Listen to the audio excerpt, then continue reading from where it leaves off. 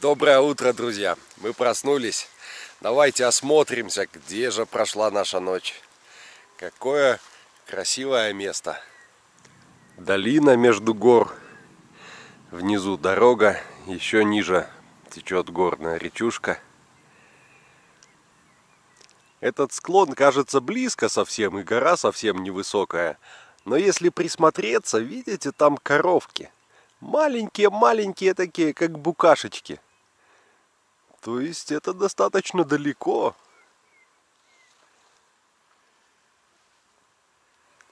Поселок на горе. Ночью слышали, как у кого-то работал телевизор. То диктор что-то там рассказывал, потом какой-то фильм, по-моему, шел достаточно громко, и ветер доносил все звуки. Да и сейчас слышно. В принципе, спалось спокойно. Только несколько раз здесь проезжали машины и сигналили. Из-за этого просыпались.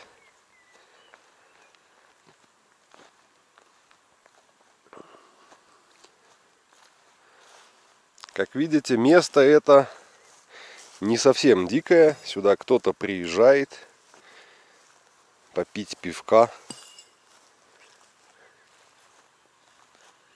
Но сегодня ночью никто нас не побеспокоил.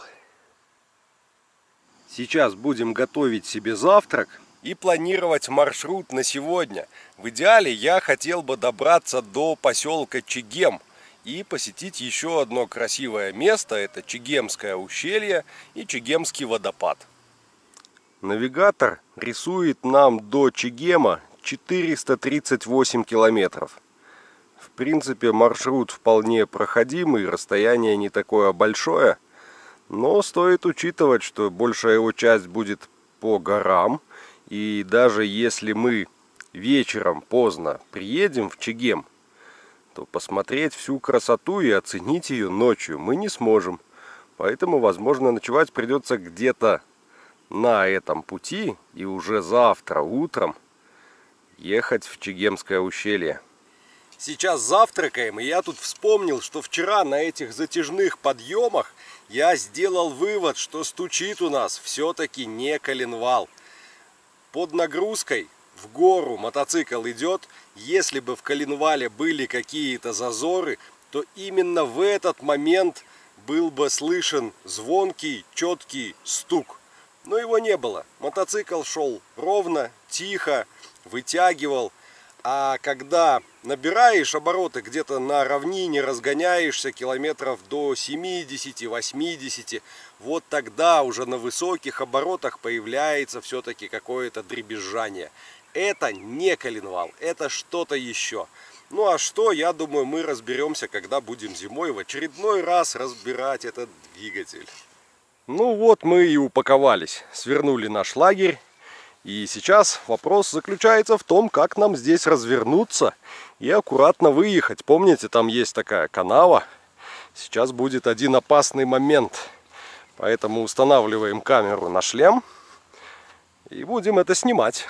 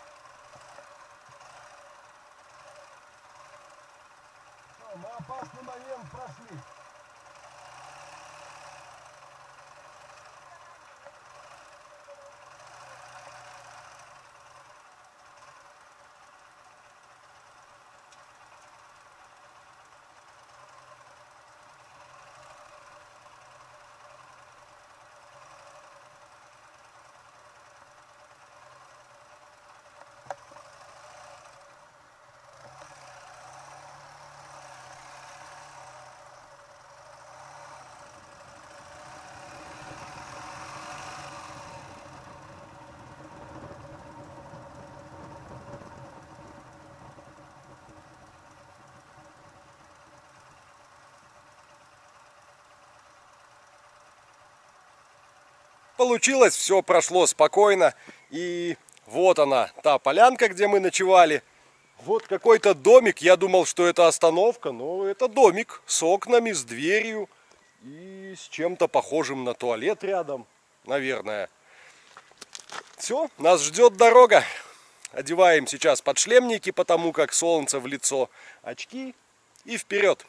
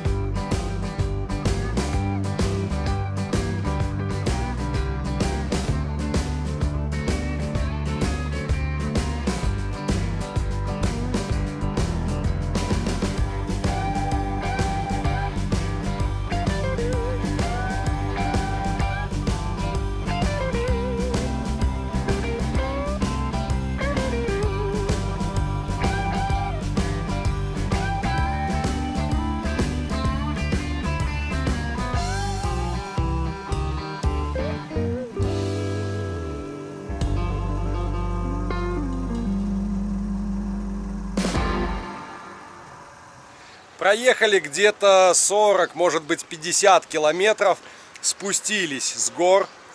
И на спусках, я вам скажу, двигатель работает хуже, чем на подъемах. Дело в том, что в режиме торможения постоянно забрасывает свечи. Хоть ты и держишь ручку газа отпущенной на холостых, но какое-то топливо туда поступает, сгорает не до конца, свечи забрасывает.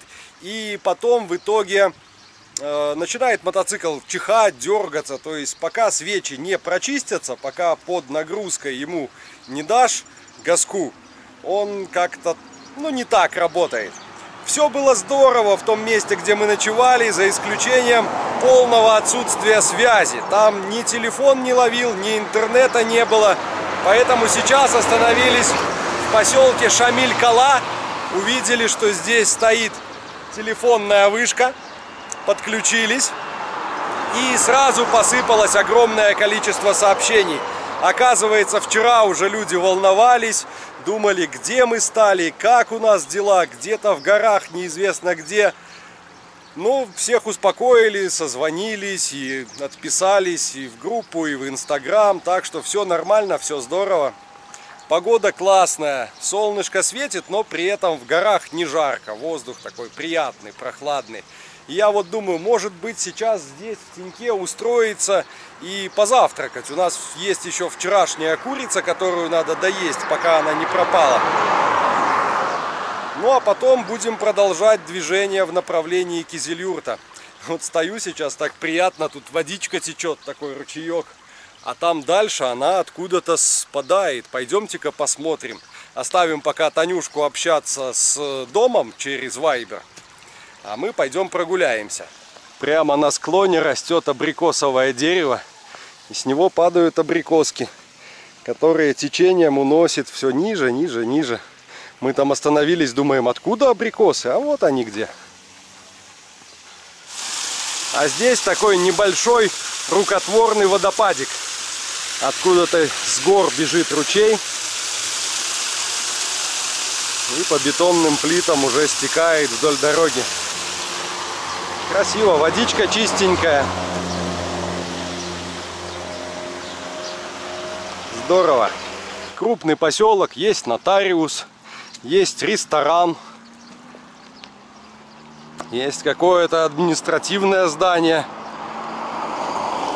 Кунцукульский районный суд. Вот это что.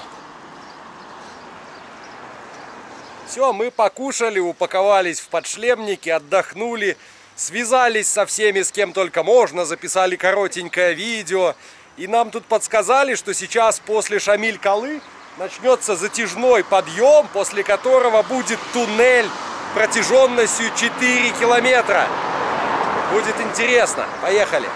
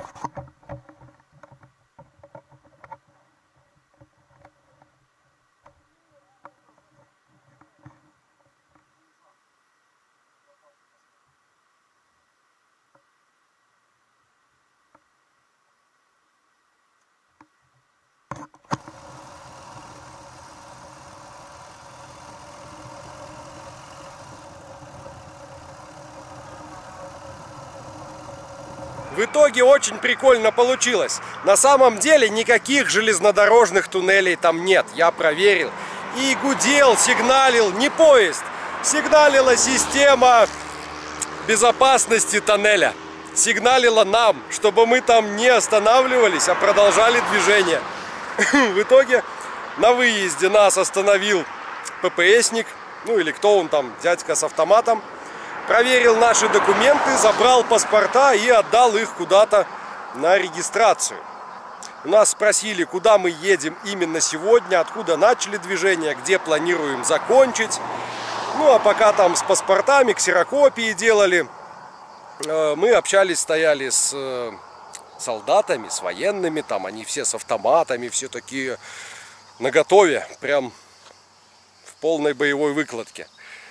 А, они расспрашивали, откуда едем, куда, как путешествуем. В общем, никаких штрафов нам не дали. Э, данные на флешке в камере не затерли, чему я очень рад, потому что больше всего боялся, что они скажут так, а теперь давай удаляй все, что ты там наснимал. И даже когда мы уезжали, посоветовали нам остановиться вот в этом месте. Очень интересное место, так называемая аномалия. Видите спуск? Вот мы сейчас шли с горы, спускались, спускались. Здесь вот серединка и дальше начинается подъемчик. Вот сейчас вот мы стоим на подъеме. А теперь давайте сделаем небольшую проверку. Ну вот прям явно видно. Подъем. Дорога поднимается. Давайте возьмем нашу канистру. Выйдем с ней на асфальт. И нальем немножко водички. А теперь смотрите, как вода бежит в гору. Вода течет вверх.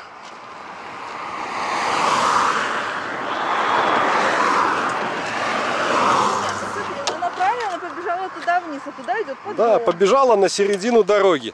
Танюшка вот не верит, что все-таки, говорит, подъем. Хорошо. Проверка номер два. Ставим мотоцикл на нейтралку. И он у нас дружно покатился в гору. Видите, на подъем катится мотоцикл. какая-то очень серьезная гравитаци... гравитационная аномалия. Оп, остановили, включили передачу. Да, конечно же, все это обман зрения. На самом деле это спуск просто не такой крутой, как все остальные спуски. И уклон здесь идет в том направлении.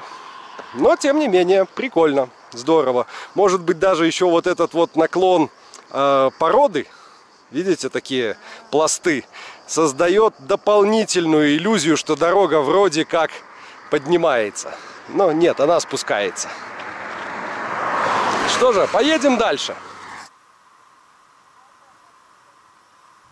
Мотоцикл катится сам на подъем, в гору. Вот бы везде так было.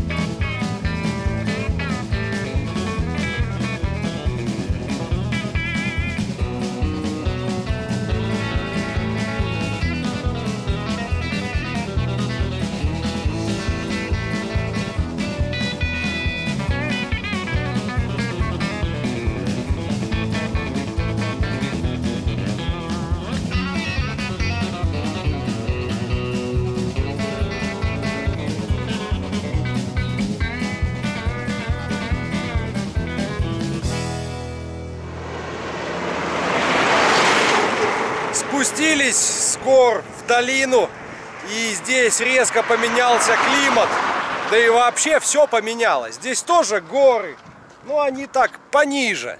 Сразу стало жарко, дороги разбитые, очень много пыли. Я еду и думаю, понятно, почему те, кто живет в горах, живут дольше.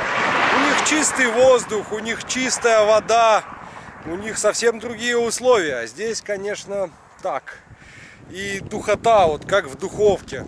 Жара со всех сторон жарит, тени нет, спрятаться некуда. Собственно, чего остановились? Ехал бы дальше и не останавливался, но меня обгоняла машина, поравнялась, посигналила. Я начал искать, в чем дело. А оказывается, у нас размотался трос, размоталась наша э, шворка, которой привязан баул. Мало того, все это сползло и начало уже болтаться в районе колеса. И если бы зацепилось за спицы, могло бы получиться крайне неприятно. Намотало бы, колесо заблокировало и мотоцикл ушел бы в неуправляемое торможение. Так что сейчас все это будем поправлять. Перевязались, теперь все надежно держится. Поедем дальше, будем из этой жары выбираться.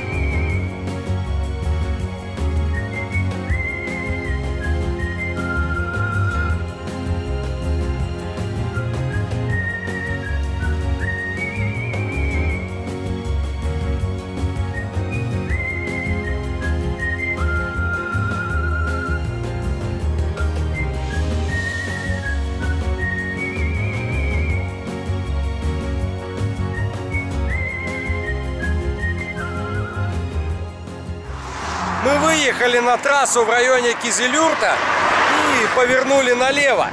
Трасса трехполоска, ну в основном трехполоска, где-то вот такие участки, как здесь, по четыре полосы, но преимущественно полосы три, то есть две полосы в одном направлении, одна в противоположном, и где-то раз в километр-полтора они между собой меняются. И вот сейчас у нас просто закончился бензин, пришлось перейти на резерв. Все хорошо, сейчас поедем. Давай, спасибо. Видите, таксист остановился, спросил, что случилось, чем помочь. Нет, все нормально, мы переключились на резерв. Я уже подтянул бензин из бака в топливный фильтр и сейчас отправляемся искать заправку.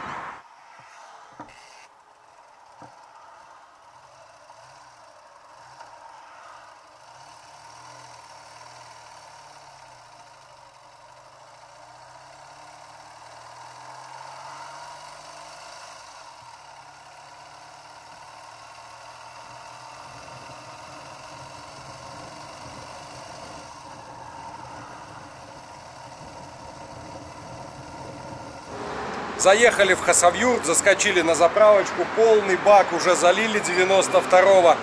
И будем двигаться в направлении Нальчика. Нас сегодня приглашали переночевать. Знаете где?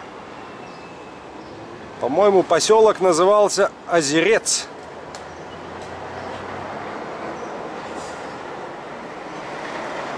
Озерек. Озерек, простите.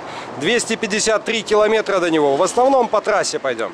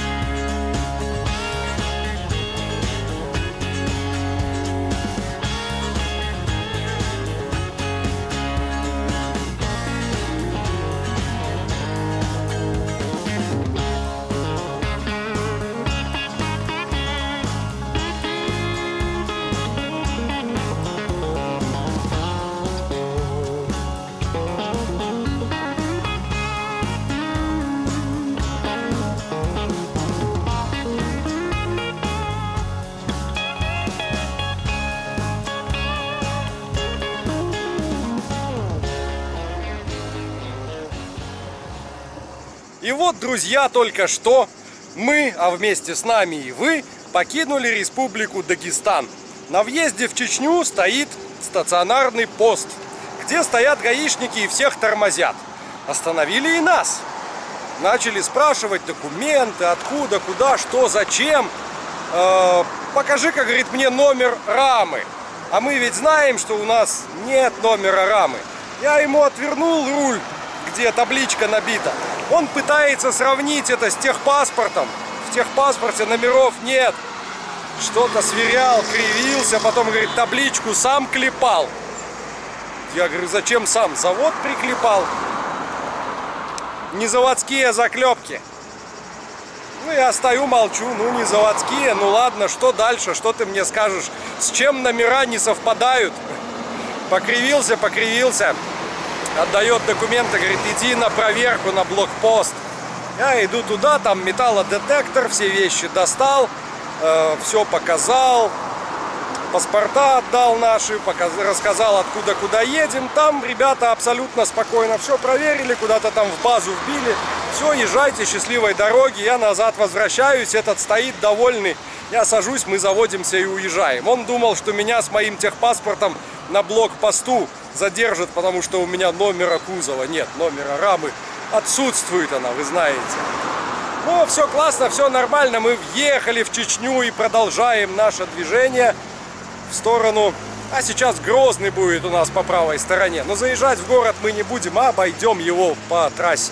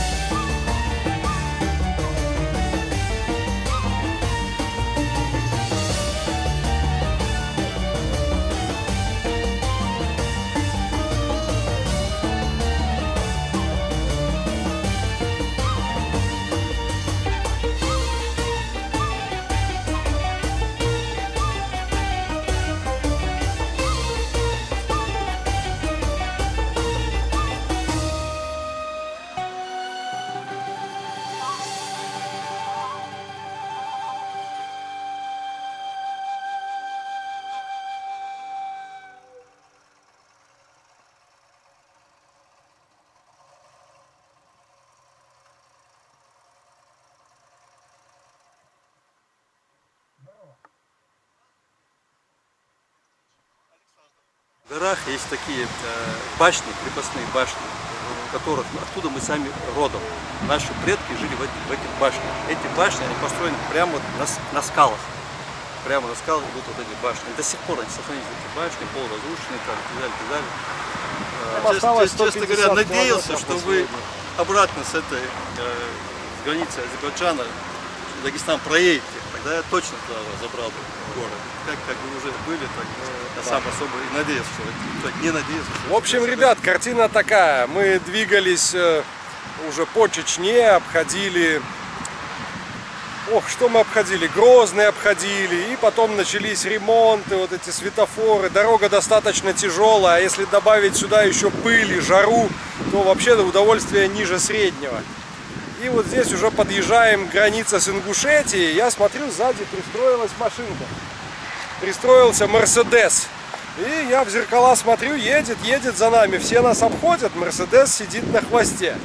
Ну, думаю, ясно, за нами следуют. А потом тут уже поближе обогнали, помахали, тормози, давай остановимся. Оказывается, ребята, наши подписчики из Ингушетии, из города Назрань, выехали нам навстречу, чтобы с нами пересечься. Приятно, здорово, классно. Как раз остановились. Я давно уже хотел остановиться, а повода все не было. Ребят, вы в курсе про нашу эстафету сувениров? В Про обмен? Да, да, да, да. У вас Ну, что-нибудь есть? щас мы что-нибудь.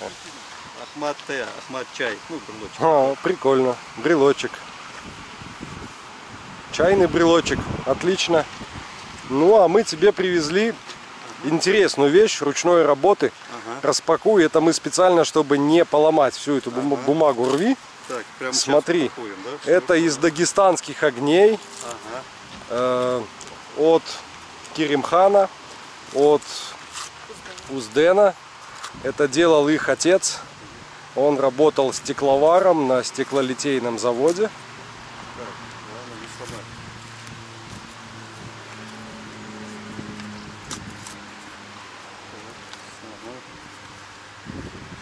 Останется. Я уж паковал, паковал, потому как вещь хрупкая. Стекло. Да, это лебедь. Это лебедь. У него есть какое-то свое название, ну вот таких сувениров стеклянных. Короче, Но мы не запомнили. Да, да? да, это из дагестанских огней. Спасибо мастеру, конечно, который изготовил такое чудо. Спасибо вам, что передали, довезли до нас. Пожалуйста. И приближается, ребят, черная туча. Можем мы сейчас хватануть еще и дождик.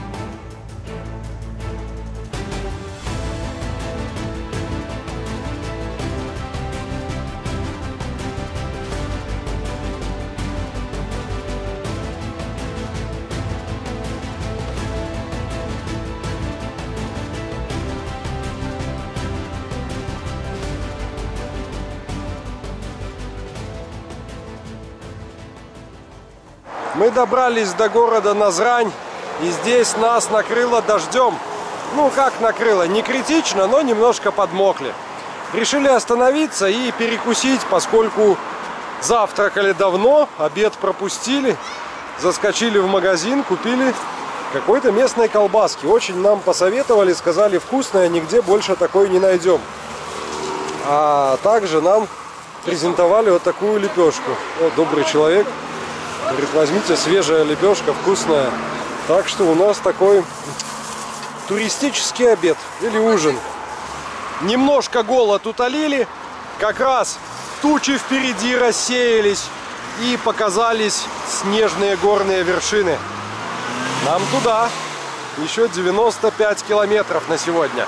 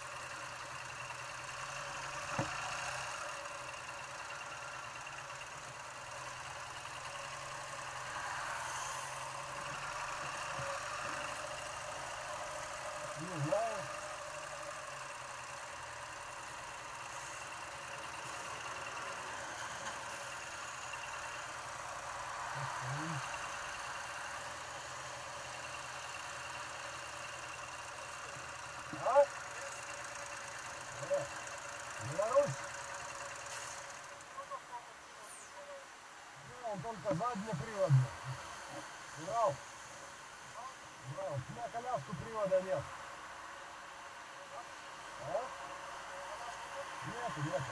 Ну, в основном по дорогам.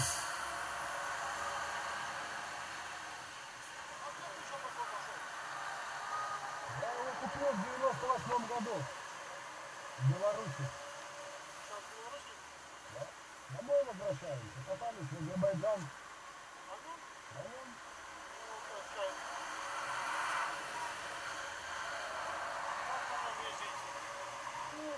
Ну, нормально, но медленно. По трассе максимум 80 держит. А? А. Так куда подъехать или?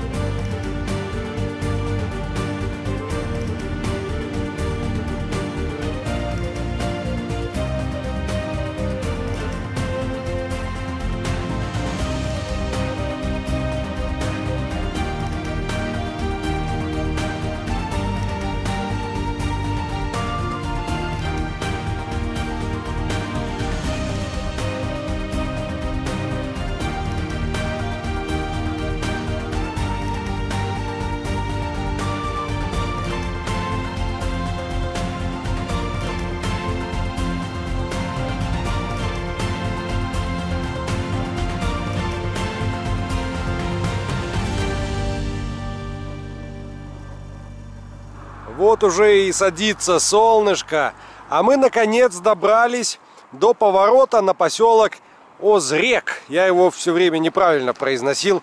Азрек. И будем сейчас звонить Давиду, моему подписчику, который нас приглашал сегодня у него переночевать. Он говорил, что где-то здесь, на Лукойловской заправке, будет нас ждать. Но здесь есть одна слева, а там дальше светится вторая, по-моему, справа. Так что разберемся.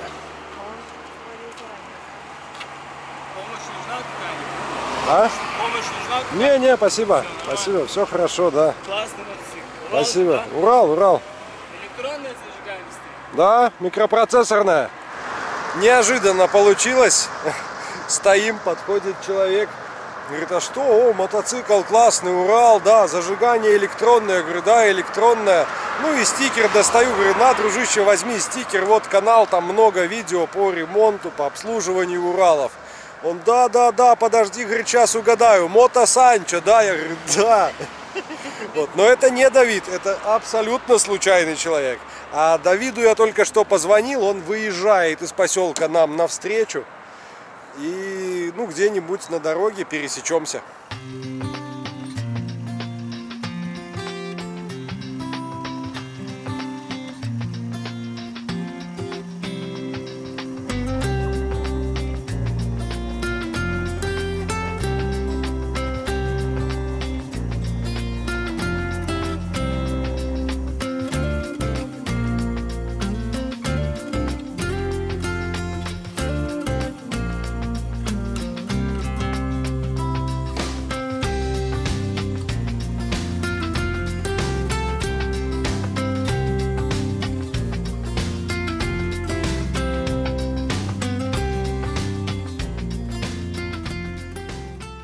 Все у нас получилось. Давид нас встретил, привез в поселок, привез домой. Мы уже поставили мотоцикл. Тут у ребят целый мотопарк.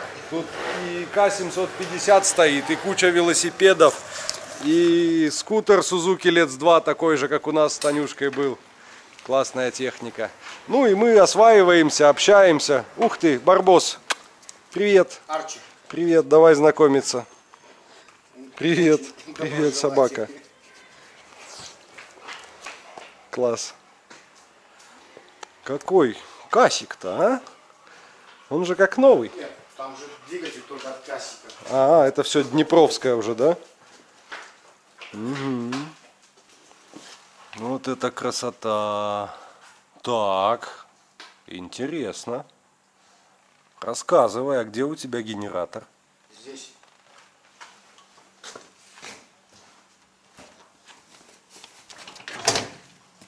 А, я понял. Этот мотоцикл в генераторе не нуждается. 90 ампер. 90 ампер. И насколько хватает? Так, ну пока не удалось посадить. Высадить, да? да? Где-то 500 километров проехал. У, Так, этот основной аккумулятор. Ага, А вот этот резервный. ага. А есть там- еще и там, дополнительный. то есть, э, в целом получается 100 ампер. Прикольно. Здесь стоят две бобины, заглушка, генератора в принципе нет. Нет. ПЗ-30. Да. Патрубки такие классные, все так по уму, все красиво, все чистенько, все блестит. Слушай, шикарный мотоцикл. Вот здесь пружина э, после того, как собрал, они буквально через неделю все, ну там же близко идет к стакану пружина. А, и начала затирать, да? и Через Ну, неделю все Это, вцарапаны. это, у, это у них беда у всех. Да, и поэтому просто, чтобы вид такой не был. Ну, гофры интересные. Э, У меня знакомый один хочет на мотоцикл поставить пневмоподушки от кабины грузовика. Один в один они по размерам становятся вместо штатных амортизаторов, но к ним нужны нужен компрессор, нужен ресивер, нужен клапан регулировки давления. давление, да. И при этом ты можешь еще и жесткость и высоту менять. Как бы задумка интересная. Я сразу увидел, о, думаю, неужели пневмоподушки? Труба такая классная. Так, это родные, э, родные глушители. Э, сверху вот А. нержавейку, да, нержавейку вставили и обварили. Здорово. Все красиво, покрасочка аккуратненькая. Шикарно. Ладно, будем осваиваться, будем принимать душ. Что-то, может быть, постираем сейчас. Мы приняли душ, помылись, нас угощают свежим нальчикским пивом и уже зовут за стол.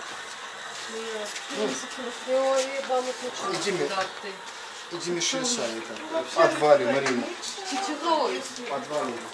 В общем, попали мы, ребят, на настоящее кавказское застолье. Ну и как водится, отказаться от выпивки, от выпивки, простите, здесь просто нереально. Поэтому меня накочегарили. И я уже такой, как вы пишете в комментариях, Сань, что-то тепленький. Тепленький. Иду поставлю камеру на зарядку и вернусь назад. Посидели за столом, покушали, наелись. И сейчас Давид, хозяин, попросил достать наш измеритель солей, чистоты воды. Проверить, какая же водичка у них течет. Это, Давид, скважина? Скважина, да? Так. Ола, есть. Давай куда-нибудь на свет поставим. Еще покачай, еще раз Включаем наш прибор. Ну, 208 единиц. Нормально. Хорошая вода. Хорошая вода. До 500 норма считается. 200, 200 это хорошо. Это которая вода? Это вот из скважины, из скважины, да, из качалки. Так она соли меряет, она как бы с труб, если там какая-то ржавчина, она и не возьмет. А, не возьмет да? Ну, Давай, давай еще проверим.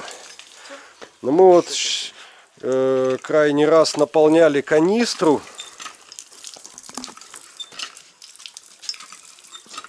Еще в Дагестане из какого-то там источника. И там было 300 с лишним. Ну, здесь видишь, так и показывает. 200, вот 17, 220. А вот это, Артур, Хорошо. а вот это водичка. А это водопроводная, да?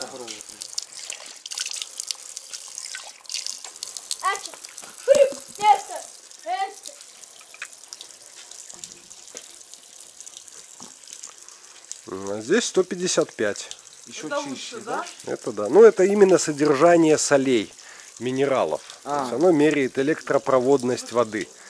На предмет наличия каких-то биологических примесей оно не покажет. Это именно содержание солей. Насколько она Получается, жесткая. Которая вода лучше, вот которая из крана, да? Ну, это не факт. Ну, получается, да. Ну, есть же соли и минералы полезные. Полезно, да. Если взять бутылку минеральной воды и в ней померить содержание солей, там будет, зашкаливает, естественно, больше. А есть соли, которые вредны для организма. Это именно для простой питьевой воды, вот норма до 500 единиц. В Байкале мы мерили, там показывало что-то около 40, по-моему. То есть там прям стаканом бери, набирай и пей. Ну, Байкал считается самый... Подошел уже день к концу, укладываемся спать, будем отдыхать. И сейчас так задумался. Утром мы проснулись в горах Дагестана. Потом оттуда въехали в Чечню. Из Чечни в Ингушетию. Из Ингушетии в Северную Осетию. Из Северной Осетии в Кабардино-Балкарию. Представляете, сколько блокпостов мы прошли, сколько границ по сути нет, но сменили какие-то регионы. И расстояние пройдено достаточно большое. Конечно, подустали, учитывая ситуацию на здешних дорогах, какие джигиты вылетают в лоб, я думаю, вы видели.